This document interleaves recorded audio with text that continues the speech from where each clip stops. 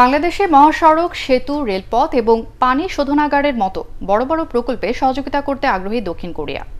রাজধানীর একটি হোটেলে বাংলাদেশের উন্নয়ন সহযোগী বিভিন্ন সংস্থার সাথে মতবিনিময় শেষে কোরিয়ার রাষ্ট্রদূত একথা জানান।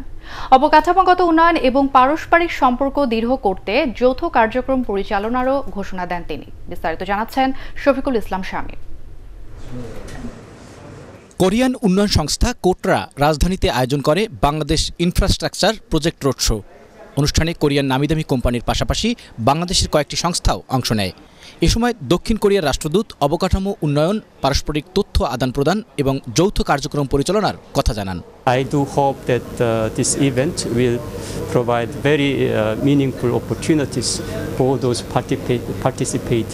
companies and also local governments. And from this uh, event, uh, I do hope that more and more Korean companies could have interest uh, in coming here and doing their own business.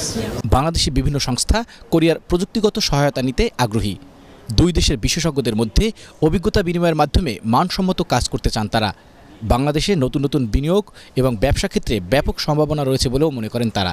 তারা কিন্তু শুধু technology নিয়ে আসে এবং higher লেভেলের লোকগুলো নিয়ে আসে ইঞ্জিনিয়ার বা ম্যানেজার লেভেলের কিন্তু লোয়ার লেভেলের লোক কিন্তু আমরাই কাজ করি। টেকনোলজি নলেজ কাজ করার যে ম্যানেজমেন্ট এগুলো কিন্তু আমাদের দেশের লোকেরা এখন ক্রমান্বয়ে ডেভেলপ করতেছে। আরও প্রজেক্ট আমাদের আসবে। সেগুলি আমাদের সাথে আমাদের জাস্ট মত বিনিময় করছি।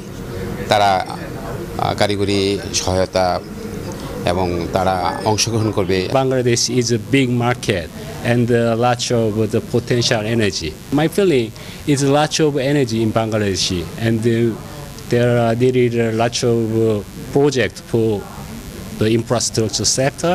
this this pro- this country is we thinking this is the blue market. So then even if we have only one project in Matabari, but we want to expand it on another new project. কোটরার এই আয়োজন বাংলাদেশের বিভিন্ন প্রতিষ্ঠানের সাথে Korean কোম্পানিগুলোর সম্পর্ক উন্নয়নে ভূমিকা রাখবে বলে মনে করছেন সংশ্লিষ্টরা শফিকুল ইসলাম শামীম এটিএন বাংলা ঢাকা